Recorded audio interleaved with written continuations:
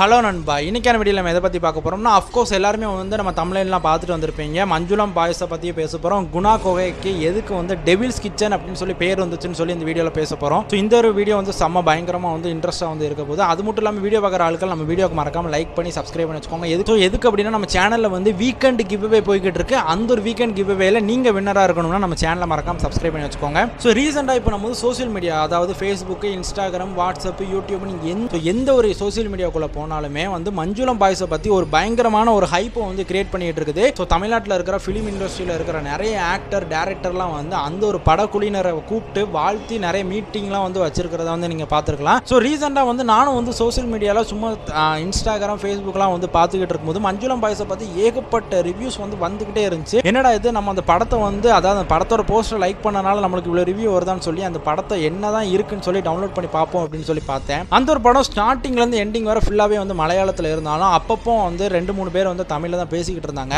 அவங்க என்னதான் வந்து மலையாளத்தில் பேசினாலும் அவங்க பண்ணுற ஒரு ஒரு செயலும் வந்து அதுக்கு அடுத்த சீனில் வந்து அவங்க என்ன பண்ண போகிறாங்க இல்லை அவங்க என்ன பண்ணிகிட்டு இருக்காங்க இல்லை என்ன பேசிகிட்டு இருக்காங்கன்னு சொல்லி அவங்களோட பாடி லாங்குவேஜ் ப்ளஸ் ஃபேஸோட ரியாக்ஷன் வந்து அவங்க என்ன சொல்ல வராங்கன்னு சொல்லி நம்மளுக்கு வந்து ஈஸியாக வந்து புரிய ஆரம்பிச்சிடும். அந்த ஒரு படத்தை பார்த்ததுக்கப்புறம் குணா கொகைக்கு இவ்வளோ பெரிய ஹிஸ்ட்ரி இருக்குது அப்படின்னு சொல்லி நானே வந்து பயங்கர ஷாக் ஆகிட்டேன் ஸோ என்ன தான் கொடைக்கானல் வந்து பார்க்கறதுக்கு அழகாக இருந்தாலும் அங்கே வந்து ஏகப்பட்ட மர்மமான விஷயங்களாக இருக்கட்டும் இல்லை ஏகப்பட்ட ஆபத்தான விஷயங்களா இருக்கட்டும் நிறையவே வந்து அங்கே வந்து நிறைஞ்சிருக்குது. நிறைய பேருக்கு அந்த ஒரு விஷயத்தை பற்றி தெரியாமலே வந்து போகுது. அந்த ஒரு விஷயத்தில் தான் குணா குகை அப்படிங்கிற ஒரு கான்செப்டை வந்து மஞ்சுளம் பாய்ஸ் படம் மூலியமாக வந்து எல்லாருக்கும் வந்து தெரிய வச்சாங்க. சோஷியல் மீடியாவில் நீங்கள் எங்கே தேடினாலும் குணா குகையை பற்றி ஹிஸ்ட்ரி போட்டாலுமே மஞ்சுளம் பாய்ஸ் அப்படிங்கிற ஒரு போஸ்ட்டும் வந்து சேர்ந்து தான் வரும். ஸோ குணா குகை அதாவது ஆயிரத்தி எண்ணூற்றி தொண்ணூத்தோராது ஆண்டு அதாவது ஆங்கிலேயர் காலகட்டத்தில் வந்து அந்த ஒரு குணா குகையை சுற்றி வந்து ஏகப்பட்ட ஆங்கிலராக இருக்கட்டும் இல்லை கொடைக்கானல் மலையில் வந்து ஏகப்பட்ட ஆங்கிலராக இருக்கட்டும் அவங்க தான் வந்து வாழ்ந்துட்டு இருந்தாங்க. அப்படி ஆங்கிலர்கள் வந்து வாழ்ந்துட்டு இருக்கும்போது ஒரு நாள் வந்து நம்மளுக்கு வந்து நைட் டியூட்டி பார்க்கும்போது. ஸோ டியூட்டியில் இருந்துட்டு இருக்கும்போது நைட் டயத்தில் வந்து ஒரு குகைக்குள்ளே இருந்து பயங்கரமாக வந்து யாரோ வந்து சமையல் பண்ணுற மாதிரி வந்து புகை வந்திருக்கு. யாரோ வந்து பாத்திரத்தை போட்டு உருட்டுற மாதிரி வந்து சவுண்டு கேட்டிருக்குது. ஸோ அங்கே இருக்க சோல்ஜர்லாம் என்ன செஞ்சாங்க அப்படின்னா அந்த குகைக்குள்ளே வந்து யாரோ வந்து உட்காந்துக்கிட்டு இருக்கான். அது யாருன்னு சொல்லி தெரியல. ஏதோ சமைச்சிக்கிட்டு இருக்கான் பாத்திரத்தை போட்டு உருட்டிக்கிட்டு இருக்கான்.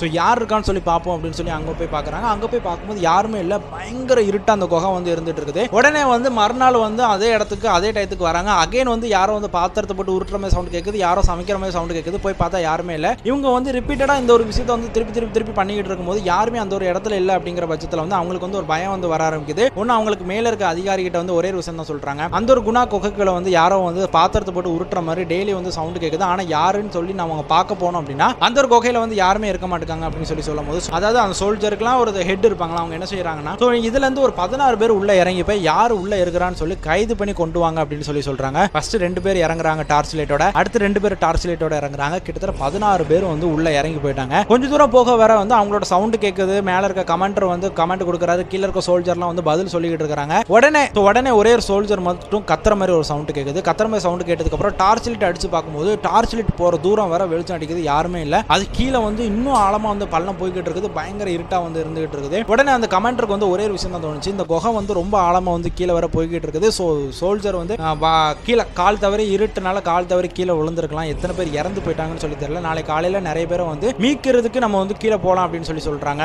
அப்படி அவங்கள மறுநாள் காலையில மீட்கிறதுக்கு அவங்க கீழே வந்து ரெண்டு மூணு பேரை அனுப்புறாங்க. குகை போது போது போது போது பயங்கரமா போய்கிட்டு இருக்கு. கிட்டத்தட்ட அந்த குகையோட அடி மட்டும் எண்பதுல இருந்து தொண்ணூறு அடின்னு சொல்லி சொல்றாங்க. போய்கிட்டே இருக்குது. உடனே கீழே இறங்கின ஆட்கள் வந்து ஒரு குறிப்பிட்ட தூரத்துக்கு மேலே கீழே போனதுக்கு அப்புறம் ஆக்சிஜன் லெவல் வந்து ரொம்பவே வந்து கம்மியாக ஆரம்பிக்குது. உடனே அவங்க எல்லாருமே மேலே வர ஆரம்பிச்சிட்டாங்க. அடுத்து கமாண்டர் வந்து அந்த பதினாறு பேர் வந்து வழி மாறி போயிருக்கலாம் இல்லை உயிர் இழந்து போயிருக்கலாம். அவங்களுக்கு என்ன நடந்துச்சுன்னு சொல்லி தெரியல. ஸோ இதுக்கப்புறம் வந்து அந்த ஒரு பக்கம் வந்து யாருமே போக வேண்டாம் அப்படின்னு சொல்லி சொல்றாங்க. அதுக்கப்புறம் வந்து அகைன் வந்து மறுநாள் வந்து காவலர் அதாவது நைட் டயத்தில் சோல்ஜர்லாம் வந்து நிற்கும் போது அகைன் வந்து யாரும் வந்து பாத்திரத்தை போட்டு உருட்டுற மாதிரி சவுண்டு கேட்குது என்னடா இது? டெய்லி நைட்டு இந்த மாதிரி சவுண்டு கேட்குது இதை பார்க்கறதுக்கு பதினாறு சோல்ஜர் வந்து உள்ளே இறக்கணும் பதினாறு பேருமே வந்து காணாம போயிட்டாங்க. என்னதான் உள்ள இருக்குது அப்படின்னு சொல்லி அவங்களுக்கு வந்து ஏகப்பட்ட சந்தேகம் வந்து இருந்துச்சு. அப்படி ஏகப்பட்ட சந்தேகம் இருக்கும்போது அந்த ஒரு உள்ள பாத்திரம் உருட்டுற ஆள் யாருன்னு சொல்லி கடைசி வரை இவங்களால வந்து கண்டுபிடிக்கவே முடியல. இதனால தான் வந்து குணா குகை அதாவது நம்ம கமலஹாசன் சார் நடிச்ச அந்த குணா அப்படிங்கிற ஒரு படம் ரிலீஸ் ஆனதுக்கு அப்புறம் கண்மணி அன்போட காதலன் அந்த பாட்டு வந்து அந்த குகையில வச்சு எடுத்தனால தான் அந்த குகைக்கு வந்து குணா குகைன்னு வச்சிருந்தாங்க. அந்த ஒரு பாத்திரத்தை போட்டு உருட்டின ஆள் யாருன்னே தெரியாதனால